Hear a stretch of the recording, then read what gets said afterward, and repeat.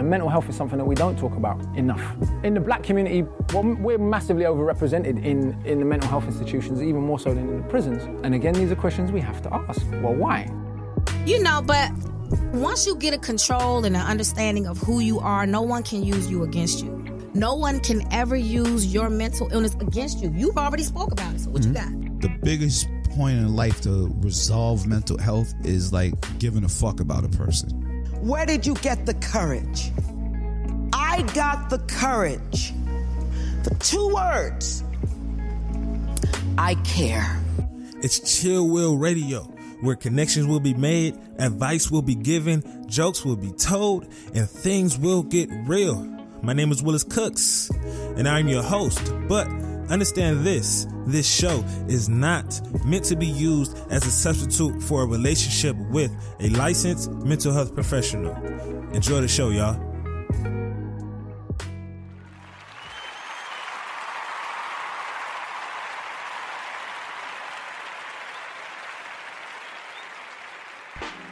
Yo, yo, yo, yo, yo, what's the deal? What's the deal? What's the deal? Welcome, welcome, welcome to another fabulous, fantastic, them dope ass words of Chill Will Radio, man. This is episode motherfucking 32. Episode 32, man. So, welcome everybody. Welcome, welcome, welcome. If you're tuning in right now, good looking.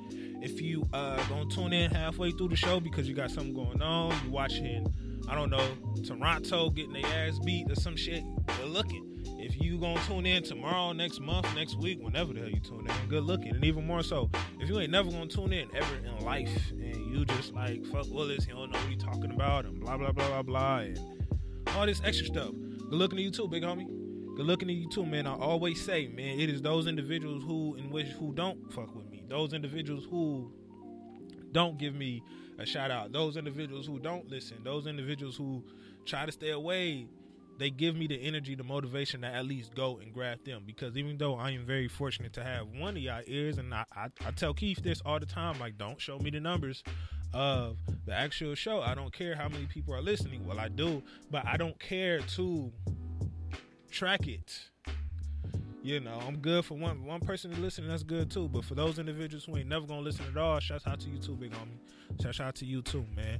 Um, if you're listening in the comments, please, please check in. I always like to acknowledge those individuals who are listening. And um, welcome to the show, my man. Where we talking about all things mental health, the good, the bad, the ugly, the taboo, the not so taboo, the things people think we shouldn't be talking about, all that reckless shit. Over here in a real way, in a hood way, and real way, hood way. That's the first time I said that. I don't know, but hey, what's the deal, man? But how was my week? How am I doing? How is this going on? Everything's good. Working, working, working. Everything is going on. Everything is going fine. Everything is going good, Didier. Didier's trying to coach me and tell me I'm good. Shouts out to Didier, man. He come by every week, man, and record these shows, man. He got the lights, the cameras, all this other shit, man. If you need a photographer, uh, Didier, what's your, what's your it's like Diddy Gomez or something at Diddy Gomez on Instagram, man. He, he he does the videos for this show. I edit them, but he records them. He takes pictures.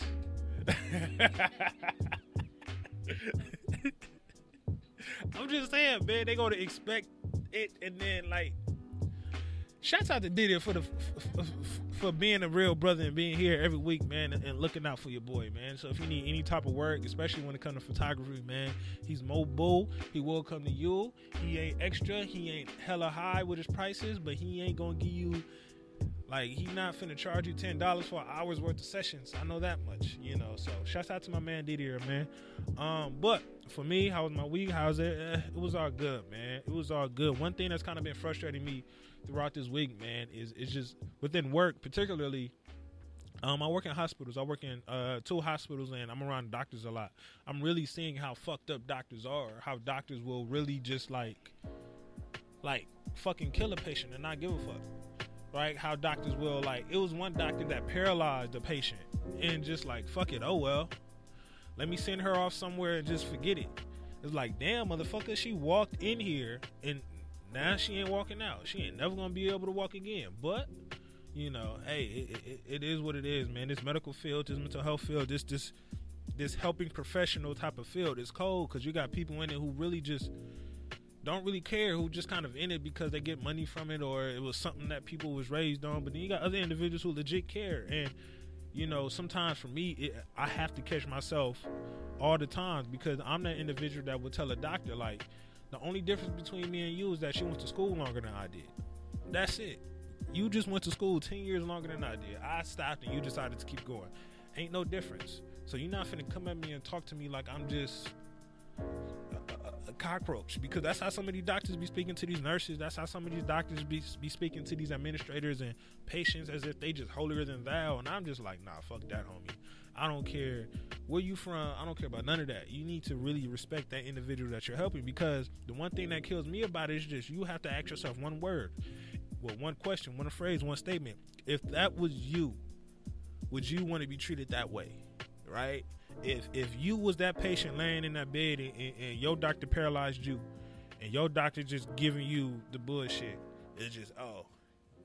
Would you appreciate that? Would you? Nine times out of ten, they're gonna be like, nah, hell no. Nah. So I just don't get it. It's that disconnect that really be be be doing disservice, really be harming. It's very detrimental to a lot of folks out here. But I can't can't do nothing about it. You can't. Well, I can do something about it. I got my plans to do something about it.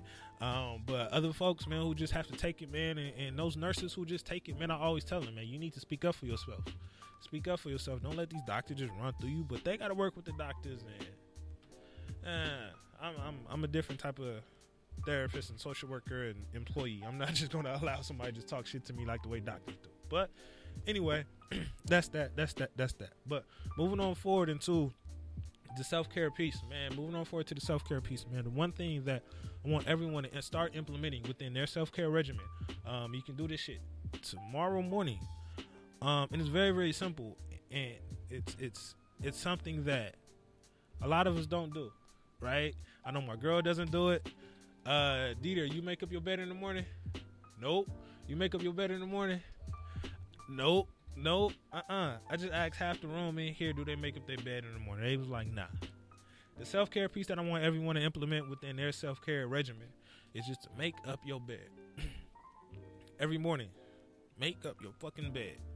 Right? Make up your bed. Make your bed. It doesn't have to be perfect. It doesn't have to be neat. It doesn't have to be anything but just take that second out of your day to make up your bed, right? It's those small things, right? The reason why making up your bed, I believe, is so important is because it's those small things that are going to transform into something else, right? If you have a problem with discipline, if you feel as if you lack discipline, you need to start somewhere small, right? Discipline isn't something you're just gonna wake up and I'm just like, oh, I'm good. Like, nah, start somewhere small. So if making up your bed every morning is that one way in which you're to be able to train or, or learn discipline, become a more disciplined person, do that. It doesn't have to be hotel neat. It doesn't have to be that. But just do that every single morning, right? That one task, right? That that that ability to, to like, hey, I knocked something off early in the morning gives you that energy or gives you that motivation to start to be able to knock other things off right? Because it's like I did this and I didn't want to do this, right? Sometimes I make up my bed every morning. Every morning I'd be like, nah, I, not every morning, but it'd be some mornings where I just be like, nah, I ain't fucking with it. I don't want to do this, but I still do it. And sometimes it'd be crappy. Some days it'd be better than others. But the thing is, it's it's it's it's about it's about it's about going against those negative thoughts. When your brain is telling you no, it's about learning how to still say yes when your brain is telling you no. Right? Learning how to still say yes when your brain is telling you no. Because like I said, a lot of the times my mind be telling me don't make up your bed, but I still have to do it. Right? And here's the thing, when we start to do something small over and over and over, it becomes a habit. It becomes a habit. And sometimes, not sometimes, all the time, we need to start at somewhere, someplace to create a positive habit, to create something good. So doing that right there is going to create something good, right? And then also, right, your whole room could be messy. Your home room could be messy. But if you have at least that one neat place in your room, it's not going to make your room feel as messy. That's the same with your brain, right? That's the same with all of those things in your head. If you got all of this shit in your head fucked up, if everything in your life is fucked up, but you got this one area in your life to where it's cool, it's not gonna feel as bad, right? Because when you walk into your room and everything is a mess, oh, it's gonna stay a mess. But if you was to have a bad day and then your bed is made up and your bed is neat, that's going to give you that ability to just pass out. Because you ain't got to look for this. You ain't got to do this. You ain't got to do all this extra shit. Just make up your bed. And it, it's simple, but nobody in here does it. nobody here doesn't, man. Those small tasks goes a very, very long way, right? We have to start small, especially if you're trying to build discipline. It's a very easy way to learn how to build discipline. So make up your bed every morning. It doesn't have to be military neat. It doesn't have to be hotel neat. No, just fucking put the cover down. Mm, Put the pillows underneath it and just move on. Shit. But I guarantee you, when you come back after that long, hard day and you see your bed made up, it's, it's gonna feel even much better to lay on it instead of trying to fish through it and, and you got all this stuff and then you probably lost something within it. And, and like my girl told me like a few weeks ago, like man, I can't find my, my chapstick and blah blah blah blah blah and that shit been in her bed this whole time. She been rolling around her chapstick. She got all of these big ass covers and it's messy and this shit in her bed. Just make it up. Fixing those small things in your life is going to be able to make a huge, huge difference. You're not going to fix a big thing real quick. You need to sm- fix those small things very s- slowly, steadily, and all that good stuff. All right. So the self care piece that I want everyone to make up for the self care piece that I want everyone to put within their self care regimen. Make up your motherfucking bed, y'all. Make up your bed. So, moving on forward. Moving on forward into the main topic of the show. Right? Um, I got my guy, my guy, my guy, JD. What's the deal? What's going on? What's, up? popping, brother? How you feeling? I'm feeling good. Getting treated nice in LA. You know, still re- gaining my strength. Not too much turn up, but you know, other than that, I'm Gucci. Man, thank you for making it in. And uh, shit, this your second time in LA? Yeah, so the first time I came, I was here only for two days, so I didn't get to really do as much as I wanted to. That don't count. This your first time. Oh, yeah, okay, so this is my first time. but I feel like this time around it was easier because I got to chill, you know, my family. Yeah. And um, we got to hang out and go out and do certain things. So I'm kind of excited. I will be coming back too because y'all are definitely the fun, the move. it's the move, but I, and we were just talking about this early Yeah. on. We talked about this a few times. Like, if you're gonna move out here, make sure you have some money. bread, yeah. Make sure you have something Yeah. intact because it's it's a lot of people who. It's a lot of people I know from college. Like we both went to the same school. That's how we know each other. We both went to, you know, what they say, the illustrious, Illustrious Clark Atlanta University. Yeah, it's a lot of people from school who went out there and moved out here, and they didn't have nothing in their pocket. Right. They had to go back home.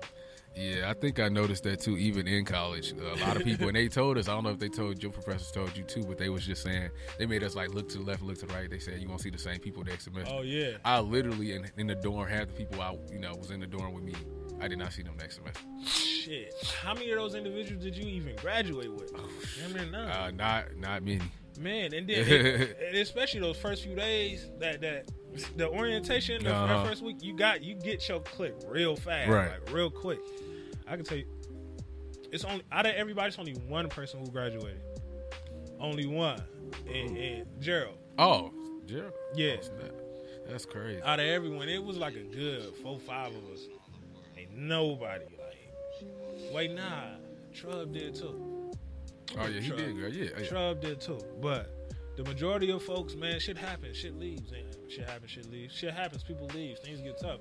And you know, we don't know people's story. And Yeah. Clark is gonna force you to find a way to make one, and that's the motto. Yeah. But uh, it's all about figuring it out. You know, so even out here, like with people who came out here and they don't have nothing in their pocket, they got to figure it out. But some people aren't really built that way to be able to figure it out. Right. Some people just like, hey, I, I don't have the energy to find what I need to. find. And I think you gotta also have like balance. and You also have to be strong minded. I've noticed, especially Yeah. me. I've always made decisions based on the fact that I know I could, so I would never like randomly just move to a place not knowing if I have the proper funding for it or not, you know, something yeah, like that. yeah, so. yeah. Um, you just gotta, you gotta, you gotta have balance. You gotta have faith, and you gotta make sure you have a plan. a lot of people do things without having a strategic plan on, you know, their life, and it's like that's what puts them in a downfall. Yeah, that is You know. true. That is true. I I can say for me, I don't really like operating off of a plan, and that's something I gotta fucking learn how to do. Cause like you said, you you you're gonna do something with the, with knowing that you could do it. Mm-hmm. I'm gonna do something if like my if if my brain is telling me to to not do it because it's like I always got to go back to like Willis, you ain't no bitch. If you back out, you a bitch, Right. and it's like that's why I'm doing it. You know, it's like anybody can persuade me to do damn near anything. If you say I'm a bitch, uh, what? I ain't no bitch. I'm finna go do this, right? Right. So backing out of anything to me is like, well, what is she taking that bitch move out? But it's just like also, do you feel like do you feel like you have to prove a point because you know it's gonna be people that's gonna always say something. I got to prove a point to myself. Right, that's what I'm saying. Even like if people like say certain things, do you, that's what I was gonna ask. Are you doing it to prove it to yourself, or are you proving it to them? I got to prove it to myself. I really don't care what other people say Right. or think. I You can care less. I really could care less, you know, but Right. I got to prove it to myself because I sleep with myself at the end of the day. Yeah. Like, I wake up with myself, and I can't live with myself telling myself, like, living myself knowing that, Willis, you bitched out on that move. Right. Like, you could have just stuck with it a little longer. Like, same with me. Like, I went to school. When I got to Clark, I had to pay 1500 a month. oh, for tuition? Yes. Oh, shit. My, my, my freshman year, my freshman year, Right. my first year there, I had to pay fifteen hundred a month for tuition, Mm-hmm. and that's why I was doing some of the things I was doing because I had to pay that fifteen hundred a month, right, and I was just like, I can't, I can't. That's the only reason why I didn't leave because it's like I ain't no bitch. right. I'm gonna figure it out. If it costs me certain things, then hey, at least I know I went and did my best. Yeah, I think for me it was a little easier because first semester, you know, you don't know, you ain't got no job, you don't know what you're doing. So I think when I got that bill that next semester, you know, and shout out to my grandma, she she paid like for half of my my what is it, the apartment fee Yeah, or yeah, whatever. yeah, so yeah. She covered a lot, and then I just happened to become a RA, you know, Yeah. those that next semester too. So I think I was doing that for four years. The so that kinda- whole time, yeah, that saved me there. a lot of money, and I was kind of grateful because I felt like God at that time, God was looking out for me, trying to make sure I was straight. You know, because you in another state, you don't know nobody, you don't know what's going on. You just see all these females because you know it's more girls. You know, the males that which was lovely. was that was the best thing for me. I used to tell all of my homies, dog, you don't gotta go to school to be smart. You don't gotta go to school for this or that. Right, Just go to school for the bitches. right. And then the, the, the ladies are gonna force you to be like, okay, I need to get my shit together because I'm they stay out not gonna fuck with you if you not having not gonna fuck with you. together. You're gonna go home and you're gonna be like, damn, I'm missing out on all that, right. All that. And then it's just like, man, it forces you to stay, man. Sometimes you have to put yourself in an environment and stick with it for, I guess, the wrong reasons in order to get what you need out Right. of it, right? So going to school for the and staying in school because you're trying to impress these women is like, all right, that may not be what everyone is telling you why you need to go to school, Right. but you're going to come out of it with something. You're going to come out of it a better dude, and that right there is going to shape your perspective on everything. Yeah, and I feel like at that time, me transition, I knew I wanted to come to Atlanta, you know, for music, but I also told myself, okay, if this music shit doesn't work out, I want to have like a backup plan. Yeah. So I always keep that in the back of my head. Like I'm glad that I went to Clark and I'm glad that I graduated because I think a lot of times too people that might not have that much freedom. You know, some people come from like strict households. Yeah, yeah. I was just fortunate enough to have a mom that was like, okay, y'all don't have to hide nothing. Just call me wherever you at. You know, she knew. You know, we was good for the most part, but she knew like we wasn't gonna do nothing too much to where we, you know, would put ourselves in a situation. Exactly. So it was like we was already in Chicago partying and having a good time. So coming to Atlanta, it's like, oh, y'all just now doing Y'all this. doing the same shit. we, I did that already. Like Shit it's cool. Yeah. This shit. Oh, then the other people gonna look at uh, the, the other parents and other families from the other side of the track gonna look at you like, oh, your parents are bad and they don't really control you or Yeah. and all this extra stuff. And it's like, nah, me being out here and wild and free and all this other stuff allowed me to really learn as much. Because then you start ahead of the game, Mhm. right? Because I, f- I don't know about you, but I felt like I was kind of, you know, years ahead of a lot of the peers when I first got there because it's like them going out to a party till like three, four o'clock in the morning, maybe their first time. Mhm. For me, it's just like regular old shit. I think because I'm just a natural turn up, it's just like, a, okay, that's cool. Because it was sometimes where I was coming back, like, falling on my face. but I also teaches you a realm of responsibility. For real. I think, especially being on your own. I know for me, uh, I'm the oldest. I have a little brother that's 26. Yeah. Um, and so I had to, like, be the responsible one and do what I was supposed to do so he could look at me as the example. that, Yeah. you know, Yeah, makes yeah. him want to do Yeah. what he's supposed to do, which he does. But I'm just saying, like, you know, I had a purpose. You know, I got somebody that's looking up to me. I got to show you, like, hey, this is what it is. But Yeah. sometimes they don't listen, and you got to let them learn on their own because I know me. a lot of little, lot of, lot of little brothers, especially like me, when I was a little kid, it was just like, let me learn on my own. Let me bust my head up. Let me, let me fall and let me get Yeah. arrested and just on myself. Even know, you telling me don't go that route, I'm just a badass and I'm gonna do what I want. Yeah, I mean, and we both, me and him, he didn't been in some stuff, and he had his situations. But I think now, I think as you get older, it's like a learning process. You learn, okay, Yeah. this route I'm going is not legitimate route that I need to go, and it's like I want to do better. Yeah. And so, and I'm proud of him because he actually certain situations he'd have been through or didn't been in. He's, you know, we've had conversations where we he's talked about like, you know, him bettering himself. You know, he want my brother wants to be like a musical engineer or something. Yeah, like yeah, that. So yeah. I think Atlanta, you know, would be great That's a good but, place. you know, I just he has to get some things in order to focus on certain things. Yeah. So, and like I said, you gotta for certain situations in certain places, you have to have you have to have a sense of maturity. Yeah. So, and I feel like Atlanta kind of taught me because I had to grow up fast. You out there by you know, yourself. yeah. I kind of had to learn the sense of responsibility. And learn like, okay, is this where I want to go? If this is what I want to do, this is how I gotta do it. Yep. You know. And if you don't do it, shit just gonna fall out. Shit's not gonna be right, man. Right. But for the main topic of the show today, man, one of the things, and it's not really a specific topic, but it's something that I'm kind of always, and always, and sometimes I feel like more recently I've always had a problem with when it comes to mental health, is um. Like when it comes to mental health, obviously you got the depressive side, right? I get tired of seeing, and let me like that sounds bad to say, but like when we, when I'm driving around and even up the street, like around the corner, it's a, a suicide sign. Like mm. let's talk about suicide and you talking about depression and everything. Like when you think of mental health, it for a lot of people it is draining, mm-hmm. right? It's like, huh, I gotta talk about my feelings. I gotta express this stuff, and mm-hmm. it, it's it's part of the reason as to why there's a negative stigma on mental health is because it's pitched in a negative way, mm-hmm. right? And when people think about mental health, the first thing they think about is a bunch of stuff that they don't want to deal with, Right. which is suicide, which is pain, which is trauma, which is all these other things. Mm-hmm. And granted, those are topics that everyone needs to face. Right. But I believe that's the side of mental health that gets too much attention. Obviously, it needs to get the attention because it's very, very good. But nobody is speaking about, I believe, the negative side of mental health. I mean, not the negative side, the positive side of mental health Yeah. right? Because because because when when your mental health is shit and it's bad and you have all of these obstacles and challenges, you're going to be depressed. You're going to be thinking about mm-hmm. suicide. You're going to have all of this reckless stuff.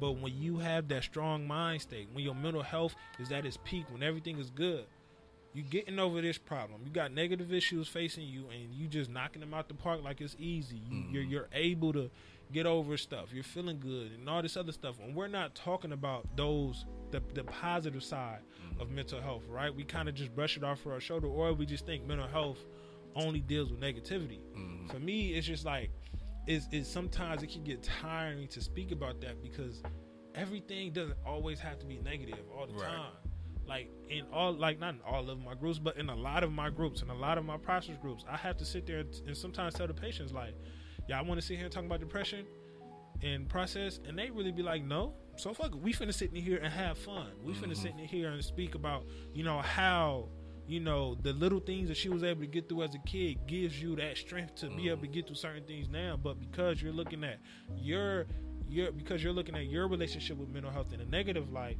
you think when it comes to mental health, it's just depression, it's just sadness, it's just isolation, it's just loneliness. When nah, when if it's me and my boys and we out having fun and we all partying and we all in a good mindset, that's the that's the side of mental health mm-hmm. that nobody touches. And it's just like for me, it's just it gets sometimes kind of outdated Right. or or or really just irrelevant when it's like we just focus on that. And I feel like, at, and and that's a good, that's a good. Actually, this is a good topic because I feel like me working also with kids in the behavioral mental health field. I've been doing that for a while now, so it's kind of like you see the ins and outs with adults and teenagers. Yeah. And so I just find it, you know, interesting how you do have people that are only in it, you know, for the money and not the passion or the Yep. purpose. I know for me, um, I always think about my brother, you know, while working in this field. Not saying like he has like a, he doesn't have a mental health issue, but I think about, you know, different situations that Oh, can yeah. relate that Yeah. you know the kids Yeah. are going through. So it's just like I feel like like me, I know my purpose is to you know, lead this gen- the younger generation down to a path of success. So even Yeah. like every client or kid that I come across, I always give them the same quote: "Come out better than you came in." Yeah. Because it, you're right, people do look at it in a negative aspect, and it's like it's that's not the only thing in mental health. Like you do have a positive route to it. I know sometimes we use uh, pros and cons, like the good and the bad. Like you know, what is your what is your purpose outside of uh, you know where you know, Yeah, facility yeah, and stuff. yeah. And sometimes they say they want to be doctors, they want to go to school, they want to do you know regular stuff. But people always think like when you're suicidal or when you're like when you have a behavioral issue, oh. You're bad. You just don't want. You don't want any help. No, people actually go through stuff, but and it's things that they can actually get through. They just Yeah. need guidance. Yeah, that's all. You they know. need they need the guidance and they need to be able to see that you know there's not only one way to fix whatever you need to get through because Right. Uh, the, the the a lot of the kids in the hood like the real reason why it's hard for a lot of young hood kids or a lot of people who grew up in the hood to really go seek therapy and all these other things is because one we look at that as some white people shit right? That's just things that white people finna do. I'm not finna like that's just how we look at it. But on the other side it's kind of like that shit don't relate to us. Like we wasn't taught how to process. We wasn't taught how to sit there and really talk to someone, right? Therapy is for a lot of black kids in the hood is, is your football coach. Therapy sometimes is your pastor. Therapy is something obviously you're going to need to get that professional therapeutic help mm-hmm. at some point, you know. But for us, we have to realize that it's a bunch of different ways in which you can get help and get therapy, right? And get that relief, whether it's through working out, whether it's through meditating, whether it's through whatever. Do what works for you. We don't have to sit there and do the regular, oh, I'm finna sit and we finna just talk about, you know, Right. how am I feeling and I'm feeling sad and this is sad. And I think at that, I think you have to also incorporate real life situations. I know some people go by scripts, For real. You know, especially like, you know, if you're a therapist maybe, and you, you go by a certain what you were taught, you know. Exactly. But it's like you have to be able to be relatable to Yep. these kids because a lot of the time they don't want nobody that's gonna say in their face, or so how are you feeling? You know, um, do you feel like you want to kill yourself? You know, stuff like that. They don't want to hear that. You know, and then a lot of the time too, you have to think it's proper parenting. A lot of their parents is like low key messed up, so they can't really guide them in the way that they should be guiding. You know, you got people. Uh, I've dealt with kids whose parents were on drugs or are on drugs and still send them, you know, to the facilities and stuff. So it's just like it's interesting. It's how it's like some of them don't have proper guidance, They know, don't. or they don't know the route to go. They know. don't. Just- and, and they just going what they just going the route that they see Yeah, that they see. their mm-hmm. parents going right, mm-hmm. and and that's not. It's nothing wrong with that because it's how, and you're not necessarily doing it the wrong way because that's just how you was taught, right? Right. That's just what you see. Mm-hmm. But what, and I'm sure, I'm positive that you can relate to this is that you know. When you spoke about how scripts, we mm-hmm. do things based off a certain script, and it's like therapists within this field, it's like, yes, like okay i'm in therapy this is what this specific intervention says and i'm mm. supposed to go about it this route and blah blah blah Right. and you start to realize that like yo that shit don't work for that person and then the therapist sitting there trying to wonder like why none of my patients don't like me and blah blah Right. blah and it's like for me the reason why i get a lot i don't want to say praise but the reason why i have a, a good rapport with a lot of my patients is because not only do i meet them where they're at but because it's like we're not going off of that script Right. like that, that script don't matter. Right. And it's like I'm sure you've been around like a lot of other coworkers who just like are just bad. yeah, I mean, it's it's been it's it's just been a little challenging sometimes, especially when it's not necessarily the kid. Oh, you know, yeah, it can yeah, be yeah. You know the people you work with, but you the trigger, dog. Yeah, right. You the one making You this kid bad. Right. And it's just like we have to I think we if you're working in that field and this like I said, not to knock no therapists, nothing like that, because I feel like they're heavily needed, especially but I do feel like you do need to kind of make sure it's relatable to the kid or depending on the situation because like i said a lot of kids don't want to hear none of that oh well how are you feeling or you know do you feel like you want to kill yourself and stuff they, they need somebody to like coach them or let them know it's gonna be cool and you know what i'm saying like for me i know a lot of the kids i've come across have a good rapport with me because you know I, i'm one on top not even the fact that i'm an artist but i try to make sure they understand that it's gonna be cool Yeah. and that's why i try to write music that's therapeutic to hear Exactly. so because it can relate to what people going through And it's different ways to get to what you need to get to. Mm-hmm. Like you know for a fact, my end goal is to make you better than what Mm-hmm. you came in with. That doesn't necessarily mean we have to go directly to your shit. It's like, nah, this is what we finna do. We finna make this left turn. We finna go probably this music route. We finna turn Mm-hmm. Right. up and blah blah blah. But Right. within the music or within the turn up, you're gonna know like, Yeah, and it's not even necessarily dealing with music because you have a lot of creative kids in the world, like whether it's music, art, dance. You know, a lot of them want to Drawing, whatever. Yeah, drawings. A lot of them want to be like doctors and stuff. So it's just like all in your approach. You have to make sure you're building a good rapport with these kids because a lot of the time they hearing the same shit. They hearing the same. You're not gonna be this or you gonna do this. And, you know, they don't need to hear none of that. So they don't need to hear none of that. And then these kids are very visual, right? Oh, very and smart. Very visual, very smart. But what Yeah. I've noticed is when you're walking into that room and you don't look like the kid, they're already like, Mm-hmm. no. Especially if you're a black kid, grew up in the hood, and, and, and you're a white therapist, and you walk into this setting. I know for me, when I've had some white teachers, I'm looking at you like. You don't know what the fuck we going through. Right. You you can't relate to nothing. Is I'm finna act the ass just because I know I can. Right. You know, but when we see somebody that looks like us, we have that we have a little bit more respect for that individual because it's something that we're familiar with. Right. So when it comes to you working with that kid, you have to understand you can't just oh we're finna sit here and talk about suicide. Nah, figure out what they into and then go that route. Right. And I think too also you have to make sure like I said, the approach is good because if you just approach the kid like, "Oh, you need to do this," they they gonna start looking like, "Well, first off, who the fuck are you?" and second, why are you talking to me like you crazy?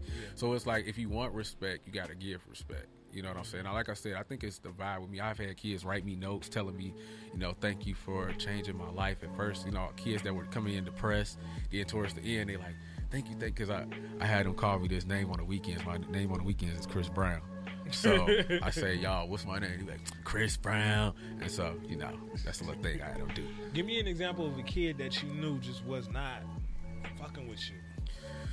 I got a lot of those. Oh, man, you know, honestly, I through the transition of different, you know, kids that we get, that we get, it's always that one that Oh, just yeah. gotta be difficult. Instead, you know, and I'll be talking like I'm talking to like, "What's up, bro?" You know, Yeah. everything good with you. And we we have female clients and males, so a lot of times, you know, especially covering the males, we hide and tell. You see a girl, oh, she fine.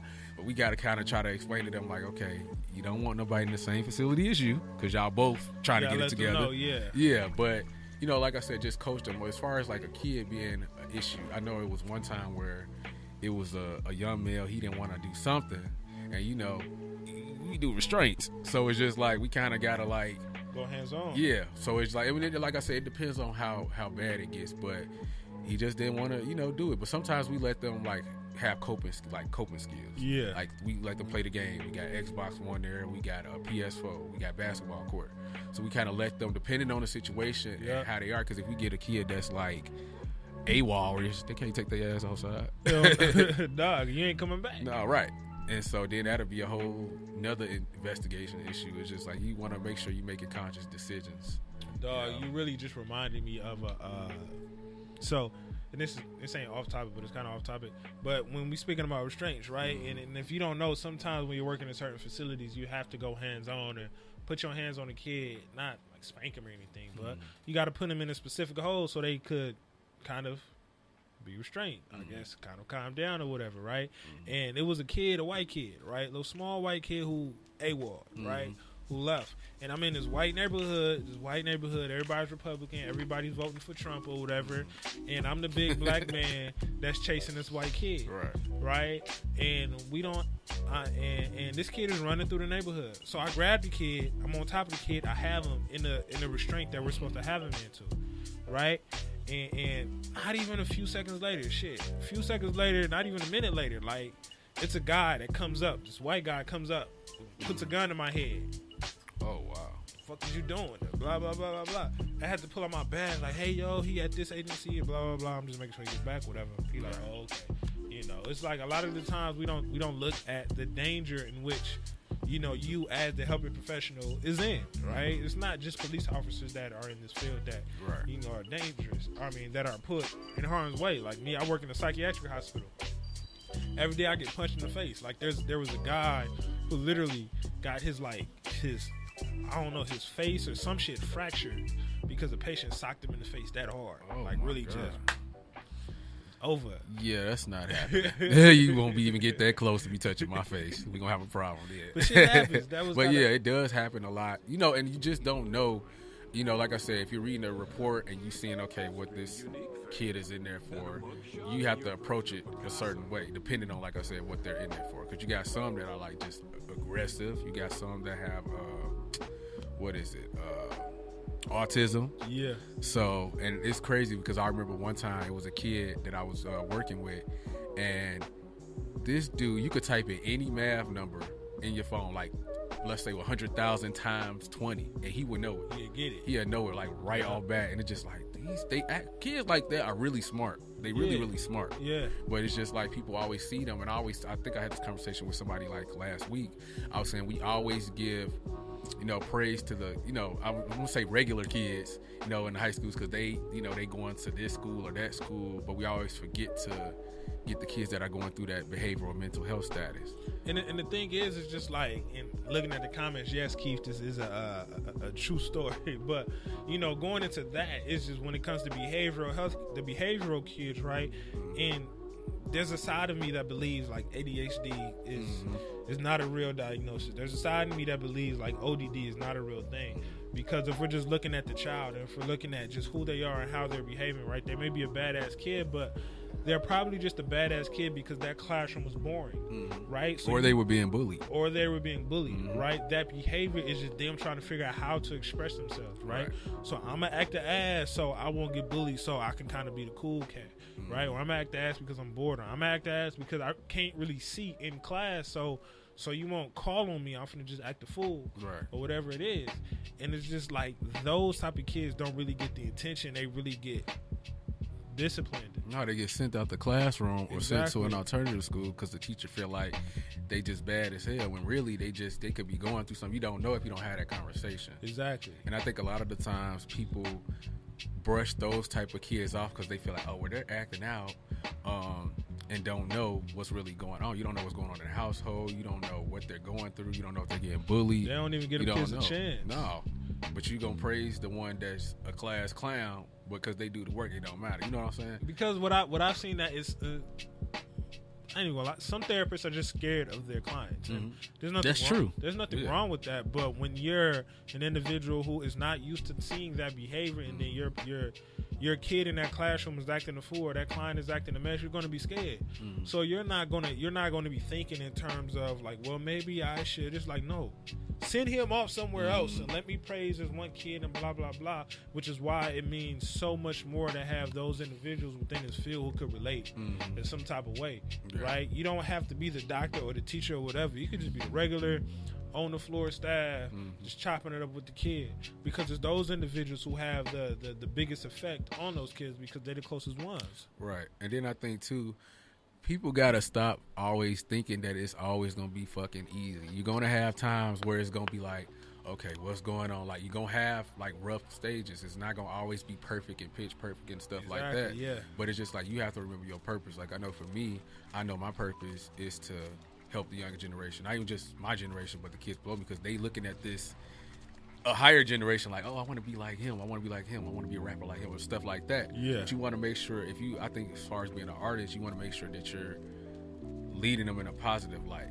Not saying that your life is just so perfect because I know me, I don't try to be perfect. I ain't gonna never be perfect, but I always keep it 100 with everything that I do, and I always make sure I let kids know like, okay, if you're gonna do this or if you're gonna do that, you have to have a a, a plan goal or end goal, you know, because it's not gonna be given to you. You know, everybody don't get golden spoon fed, Nah, so you, you gotta, gotta- kind of work for what you want. So, um, But what about those kids who, um, for you, right? What's your approach when you're dealing with those kids who are not trying to hear you out at all? Well, you know me, I'm very observant of everything. I think that's Yeah. that, that psychology psychology degree kind of played a part in that. But um, well, I'm just naturally observant, but that taught me more to be more observant for certain behaviors. So I think for me, I could kind of tell, like if I walk in a room, if a kid, which one's aggressive, which ones might be having like cutting You issues. are the one I need to keep my eye on. I'm just pointing like. I'm Oh, oh yeah, yeah, yeah. like yeah, like some of them like that be especially the ones that be really, really quiet Yeah. and just be like like staring at you like because a lot of times when you got kids and nephews they peep out everything. You got to kind of constantly explain to them you're not in jail because some of them have that jail mentality or they come in from jail to those type of places so they assume oh it's just gonna be just like where I'm at, you know. So it's kind of like as far as like approach, I, I approach them saying like you know introduce myself, hey how you doing, um, and just introduce my like I said myself or make a tell a little joke because you never know they might see it as oh this Yeah. person cool. You want to make sure they feel comfortable. Yeah. And a lot of times they come in there, they don't feel comfortable because they don't know where they at. Um, sometimes, depending on the behavior, you there for longer than you're supposed to be. So it's just kind of like you have to approach it in a positive route. For real, for real. When in in because what we're speaking, what it sounds like we're speaking about right now is alternative routes or alternative ways in order to really help or work with someone outside of just talk about your suicide or just talk about your depression or blah blah blah blah blah. Me, I hate that, right? I hate going the direct in your face. Let's talk about Right. suicide all the time. Like, Mhm. it's needed, but we don't need to talk about it all the time, right? Right. So when it comes to you, my man, when it comes to you and when it comes to your shit, right? What are some alternative routes that you use in order to be able to get through your own shit? As far as personally, um, let's see. I mean, I I think for me, like I said, I just kind of like remember my purpose. Um, I'm very strong minded, so I kind of like don't let that feel break me into like you know a bad negative mode. But I, like I said, I always look at like my purpose. So I think about my own little brother. A little situation he got going on, and you know, what how can that relate to what the kids are? You got some kids that are coming like straight from jail, or Yeah. you know, that are coming from. A lot of times they're not even really suicidal. They just say that because they even get in an argument with their parent or that again, the divorce. You know, a lot of these kids, most of them not suicidal. They For just saying that to find a, a, a different route. Or you got some that's coming for jail or Yeah. that don't want to come home that's in the facility and say, "Oh, well, I feel like I want to kill myself," so they won't have to face that situation going back home. A lot of the time, a lot most of them kids don't get along with their parents, or their parents on drugs, or they not being taken care of. I'm finna use this as an escape. Yeah, using it as an escape, and like they, like I said, these these kids are smart. They pay Yeah. attention to everything. They know exactly what to say, and it's just like sometimes they just they don't have a home. A lot of times you get kids that don't have no clothes. They come straight from the hospital. They come in the hospital, you know, attire, and it's just like they just want to feel like they have a home. You said you have a strong mind, man. How did you develop that strong mind? Oh shit. uh, a lot of the situations I went through growing up, I had to. I had to grow up, you know, fast. My mom was, you know, she went through a divorce very heavily, which kind of Yeah. impacted a lot of the situations, you know, my own little brother went through. And, Yeah. um, I kind of had to be the one to be like, okay, this gonna go like this, you know. Uh, You kind of was put in that position to where you to had be, to grow, up, fast. Yeah, I had to, and it, and I think it kind of made me the you know the way I am now because I look back at certain situations like, damn, I like really got through that shit. Like for real, for real, I got my mom through that shit. Because whenever, like, even for example, whenever my mom needs advice about something, she calling me. Yeah. Like, it's crazy because a lot of people, a lot of even my friends, they call me for advice or text me about stuff, and it's just like, damn, they must think I don't got nothing going Man, on. they don't. But, but, but we, it's, it's hard for us to even look at like within the middle of that storm. It's hard for us to even think about the fact like, yo, this shit is gonna help me be better on the back end. hmm But it, it, it's, it's, it's, we never think about that. Right. We never think about that. We never even like in that middle of it, it's like we're not thinking about nothing else but like this is just bad. And Right. the thing is, the reason why it's so important to understand that like what you're going through right now is going to make you stronger on the other end is because it's going to develop that strong mindset. Mm-hmm. You're not going to get to that strong mindset or to that strong place in which you want to be if you don't go through shit. Right. Like- and I think it's also that and just being honest, which is like it took me some time to be like, okay, look, you good at this shit. Because you know, you have your little self doubts about certain things. Like, Yeah, is people really definitely. gonna fuck with me about with this music stuff, or is people really gonna be listening? But then you have to realize, you know, God gives you talents and gives you purpose and gives you things for a reason. So it's like He wouldn't have gave me this talent if I wasn't. But know, what's the reason? What's the reason when we're not getting anything from that talent? What do you mean? if my talent is to I don't know sing, Mm. and I feel as if I'm not getting anything from this talent, what's the reason for it? Well, I also feel like too that comes with confidence. You know, sometimes you as an artist, I'm sure not even just being an artist with anything that you do. Yeah. We sometimes as people have like self doubt because we see social media plays a big part in a lot of shit that goes on. Everything, yep. So people see these people on these high pedestals like, oh, they doing this and a third. I need to do this, but those people not showing you the back end of what they had to do to get there. you know what I'm saying? Like you really gotta like grind for what you want. And it took me, like I said, even after graduating from Clark, I didn't know where I wanted to go, what I wanted to do. I didn't know if I wanted to keep doing music. Yeah. Like it just was like a mind blowing thing to me. And then on top of like dealing with certain situations from back home, you know, it was like, okay, JD, you got to get this shit together because this is your life. You only Yeah. living for you. You can't live for nobody Yeah. else. Now, you know, I'm Gucci. I'm at a point where it's like, can't tell me shit. but it's just like you have to also cancel out all the negativity because people, I feel like people that always have like a negative thing to say about something, that's, that's their own fears Yeah. that they haven't accomplished or they haven't conquered. So they they put those fears on you Uh-huh. and cast like like Uh-huh. casting stones, like how they say they cast the stones. And that's the thing right You know. there, right? We don't even want to acknowledge the fact that this is our own fear. Right. Right? We're going to sit there and like blame it on everybody. I'm not here because I didn't do that. I'm not here because I did that. And blah, blah, blah, blah. When in reality, you just scared to go that route. Mm-hmm. Right? It takes a lot of just you being just honest with yourself. Yeah, or, and just knowing knowing who you are, knowing like what you want out of your out of life, and knowing like okay, what's the common goal? When I say common goal, I don't necessarily mean you know you have to go to school. School not for everybody. Shit, I didn't want to go to college, but I felt like if I wanted to pursue you know music, I felt like I just needed that in my back That corner. route, yeah. Yeah, so I felt like a lot of the time, a lot of the things that I did, like even in college, I felt like it was because God had a reasoning for it. Yeah. You know what I'm saying? So I always stay grateful, especially like my mom growing up in a church field. She always preached the word to us, even certain things we didn't even want to hear. But mm-hmm. it's like, even though I'm not, you know, a part of that religion all the way, I still value certain things that was taught to me Yeah.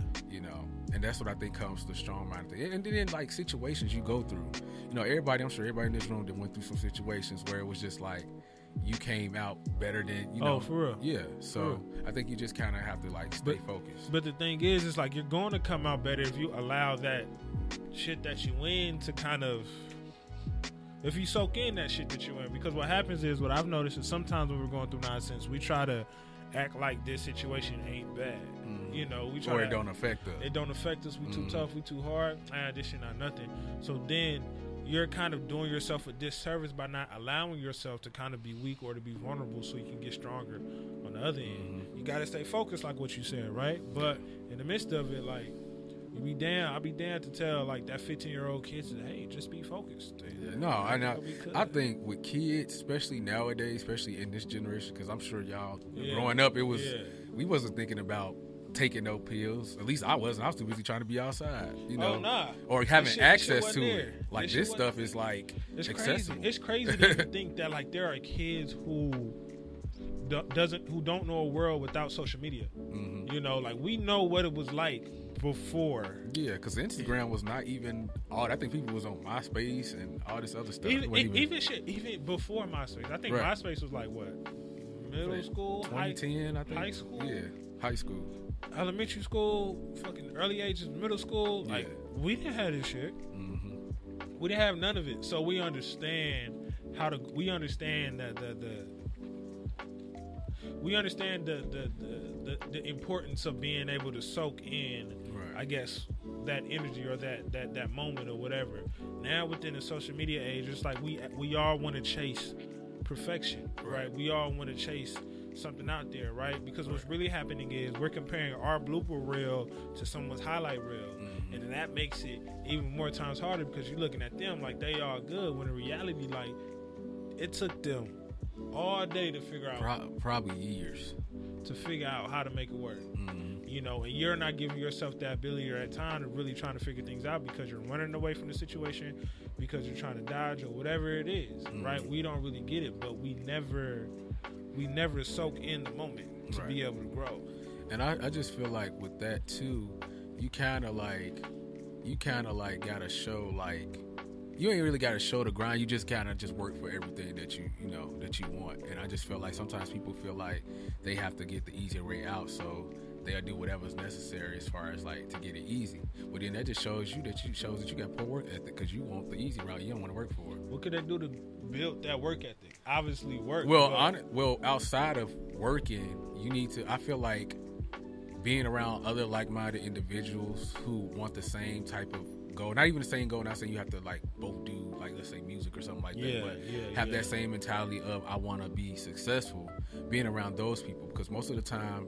We, us as people, we surround ourselves with. We try to be cool, but we surround ourselves with people that might not be of the best caliber for us or who let allow their fears to portray on you so every time you do something it's like oh well he shouldn't do this or try to tell you how you should live your life Exactly, right? I'm finna hang out with you because of that, and I'm finna hang out with you because I know you ain't shit. right So, because I know you ain't shit, that's gonna put me up here. right And that's gonna put or you who you might here. know or you know who you surround yourself around it's like you want to always make sure you keep the realest of the realest I, I'm I can't fake the funk I can't be Yeah, around yeah, nobody that ain't of my best interest or that I don't fuck with Yeah, for So- real. But, but it's also that also goes back into what we were speaking about earlier in Yeah. terms of uh, growing out of the people that we've grown up with. Mm-hmm. You know, because and it's not like it's a, a a shot thrown at certain people we've grown up with because like they're not on the same like lane as us, Mhm. right? Because but we just move forward, right? Right. It's like we're not moving in the same direction anymore as we used to.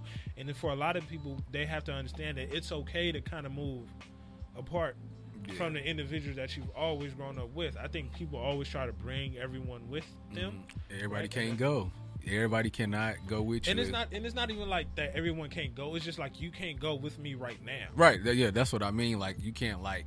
I think sometimes too when you have like close friends. Like for me, Yeah. I know.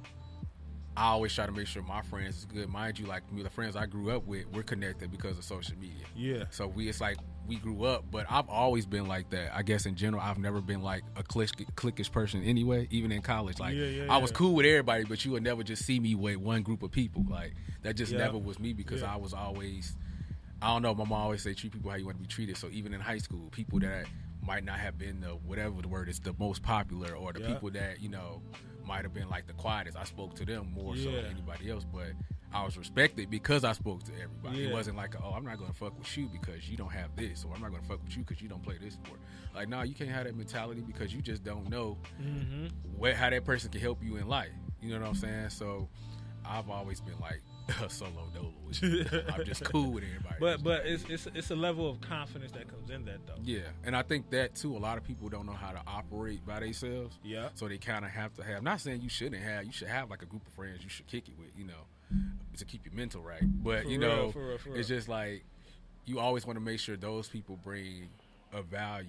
Bring the know, best out of you. Like it's crazy because that's why I respect my cousin so much. Q because all his people that he cool with, they all been cool. Like not only since they was like little, but they all are doing something. Exactly. You know, yeah. you're not finna hang with nobody that just You're not finna ain't be doing around no just, shit. just, Yeah. just, just eating off of my plate and you ain't contributing. Yeah, so and I think we all gotta, as people, we gotta have that mentality. Like, make sure you around people that's gonna, you know, be on the same length wave. We gotta you. have that. We definitely gotta have that mentality into those individuals who are telling you. For those individuals who get mad when someone tells you to contribute, Mm. you you got to get out of that mentality because sometimes what I've noticed is that, like you just said, with, with your cousin, right? He's not gonna be around someone who's not bringing something to the table, Right. right? But when I tell you like, hey, you got to bring something to the table, don't get mad at the fact that I'm telling you that you got to bring something to the table. You got to work a little bit harder. You got to. I'm trying to help you out. I'm trying to mold you. I'm trying to build you to. And a that's a place. real friend, not That's no, a not a real not a yes man. Because you got some people that just say, "Oh yeah, you should do this." Oh yeah, I like it. Like you're not really being a friend if you're telling somebody, you know, yes all the time Oh, or agreeing. Because you got those type of people too that are like they try to people please. And so I know I say that because I used to be like that growing up, and then I realized, wait a minute, Me too. don't give a fuck about me, what I look like. Once you, you know, you live and you learn. Once you so reach that age and when you realize nobody really cares about you, Yeah. nobody really cares the way you think they care, mm-hmm. everything gonna go much so much smoother. Right. You're gonna be able to move without the thought of someone might be like talking shit about you. right, And that's what gives you and even myself the ability to move solo, the ability to move on your own because it's like people ain't really worried about me like that anyway. Mm-hmm. Right? And that gives you the ability to really mingle and work with everyone else. But like I said, it takes a confident person to really be able to do that, Yeah. and not too many people can. And that's what I was saying. You gotta have a, you gotta really have a strong, a strong mindset to, but first off, to have confidence because if you allow, like I said, other people's fears and their negativity and their not doing what they want to do, so they kind of like put you in a space where it's like they feel like, oh well, you doing the most or this, that, and the third. You kind of gotta, like I said, you gotta stay away from those people. Yeah. Those people are gonna drain you. Even like work, maybe I should say working in that field. You got people that just they might be in there for the money. They don't really real. care. For So it's just like I know, like I said, my purpose and what I'm doing and what I want this younger generation to see. Like y'all, I love. You know, people, we got y'all back. You know, especially us, us African American young men. You know, we gotta kind of like help them.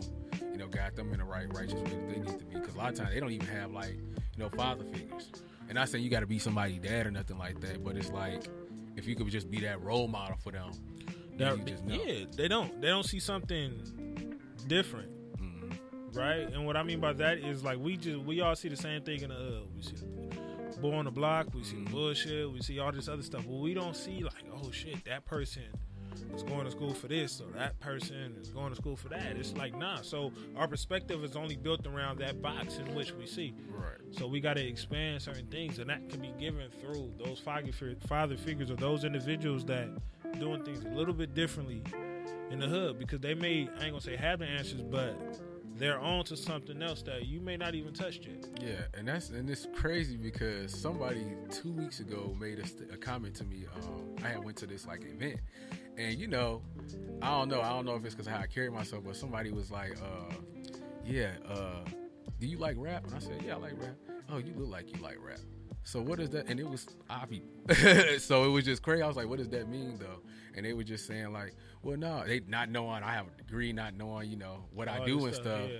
But people always, we gotta always, we gotta stop assuming. I think because people look at you and see this image and think, oh, they not even like my homies in the hood and stuff. People might see them a certain way, not knowing this nigga got a master's. You know, this person working on they doctor. Like you just can't assume people just aren't doing nothing because of how they carry So Everybody ain't gonna be in a tux and suit all day every day. I don't even like doing that all day every day. It doesn't fit everyone. No, right? not. It doesn't. It's And- like no. it doesn't. It's like what we're speaking about now in terms of the alternative routes of approaching certain things when it comes to mental health. Yeah. I don't have to wear a suit all the time to be this person. I don't have to like do this. Right. I really perform differently as a therapist than a lot of my peers.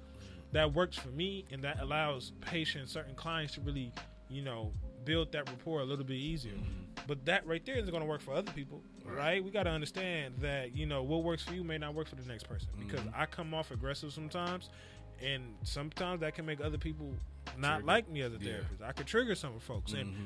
that's cool. But we got to understand it's it, on one end, it's cool that you like what you like and you're operating on your own terms, but also understand that it's okay for the fact that somebody doesn't like you. Yeah, and I th- and I think sometimes, especially when you somebody that tries to be liked by the world. I guess I wouldn't say me personally because I really don't care, but it's just like you want to make sure you try to make sure everybody is good, but it's not everybody's not gonna make sure you good. So Oh, it's just kind of like okay, you you kind of gotta like still continue to be your same person, but don't let nobody else like negativity like mess you up. You know? What yeah, I'm saying? yeah, yeah. And it, and it's hard, especially when you don't even know who you are. Right. When you don't even know who you are, how to even go back that route to figuring out who you are. A lot of times we're just following the the the the, the cool person in the hood to try to be like them, but then we realize they really ass, and when we're trying to figure out who we are, it's Right. like we don't really get it. Right. And then you just gotta I think especially working in that field, you have to understand that it's not about you all the time. I think a lot of times people think that, well, why I'm not getting this, or why I'm not doing that, or why is this it's not about you. You're here because you chose to be here. I would assume you chose to be here because you want to make a difference in like kids' lives or wherever that you know that whatever you're doing. But you know, like I said, for me, I chose to work with kids that have behavioral mental health issues because I want to make a difference with them. Because, like I said, we always focus on the ones that are already down the path or already Yeah. going towards a successful route, but we forget the ones, uh, Ron or Mark or Amber or Becky that's over there having suicidal That's ideations, really struggling. it- yeah, that's really going through it. So it's like take the time out to see what's going on rather than assume because you don't know just because you read that kid in here for this. You don't know what happened for that. You know you what I'm saying? You, don't. Know. And you don't have to go at them with the whole, "Hey, let's talk about suicide." Or, Yeah, let's talk about actually, that actually I feel like is a bad route. It's gonna push the kid away. yeah, because then it's gonna be like, okay, y'all think I'm crazy, y'all think something wrong. Everybody's Nah. not at that place, and Right. you have to take your time with folks, especially with the kids. Like Mm-hmm. I know this for a fact that you understand that you got to take your time, and you got to have to move when they move. Mm-hmm. Right? You can give them a little nudge, a little push, or whatever. But the second you try to push them too hard, is the second they're gonna be like, "Nah, I ain't fucking with you." Right. That's what it is. And they are, and you got some that be in there looking like Debo. It'd be like, hold on now, look now, I know I you big, to- but I I need, need you to back up. chest out yeah, so I because can I see you to- gonna be an issue. It's just some you know that's just going. All right, you gonna be something serious. Yeah, But then it's like I like you said, it's all in your approach. How you approach them is how they will respond. exactly. How you approach them is how they respond, man. So, uh, shit. Moving on forward to the next, not the next, but the last part of the show. Right? It's a question. A question I always um, put out there. A question I never really write or I never write down or anything like that. It's more so a question I just pick up from the vibe or the energy and all the good stuff that I get from the actual show, right? So the question I'm going to pose to you, my man, and the question I'm going to pose to a lot of individuals listening is that when it comes, we spoke a lot about um, rapport, right? When it comes to building that rapport with other people, when was the last time you actually built and tried to build that rapport with yourself? With myself, woo. Uh, let me see.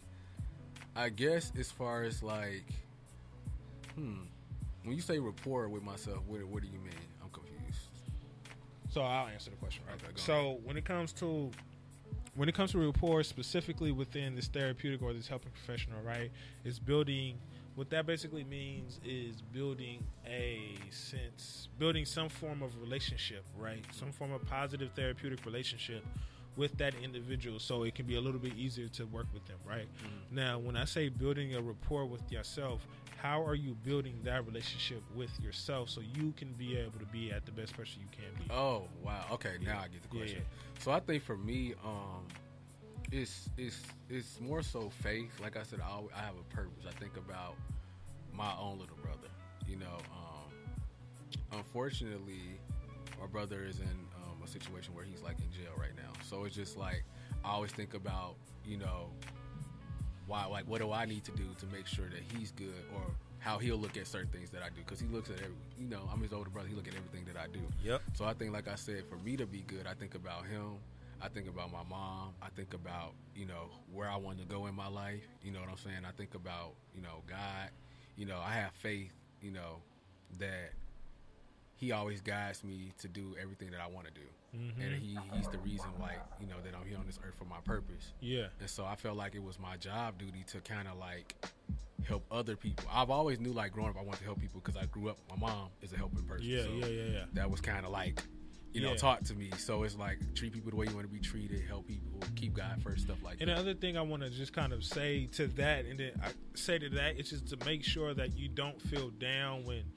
shit don't go the way you think it's supposed to go. Because a lot of times when it comes to helping people out, we put so much into it, and then when we see that person who we're helping out, life like go down the drain. Even more so while we're working them, with them, we're gonna start to feel bad. We're gonna start to, you know, take in all of that pain. We're gonna start to feel bad that that person is in jail or their life has turned to shit or whatever. And it's important to understand that as much as we all try to try our best to help with someone, they are going to make the cho- choices that they're going to make. You just have to make sure you're doing everything that you're doing on your end, Yeah, so you don't leave with the, uh, oh, I should have done more, or I should have done this, blah, Yeah. blah, blah, blah. and I just think too, you kind of got to remember. Like you say, self like it's like having self validation. You have to kind of know who you are and know where you want to go. And I think a lot of people, like I said, we talked about fears. Yeah. a lot of people have these fears. I'm sure we all have had them. So it's like, but you have to know, okay, out of this fear, what what do I want to accomplish? And so a lot of people they they think they can't do certain. things. I feel like this guy's. Like you could do anything you put your mind to. If people was telling me not to come to Atlanta for school, Yeah. I had so many people telling me, well, it's too far. You're away from your family. This that. I wasn't hearing shit they was talking Man, about. I like. I really do fuck with what you just said, right? Out of this fear, what do I want to accomplish? So I, I guess another question along with that question I just asked, out of the fear that you currently do have, um, what do you want to accomplish? What do you want to get out of that? Right? Um, what is it? I know for me, um, it's just a better sense of self mm.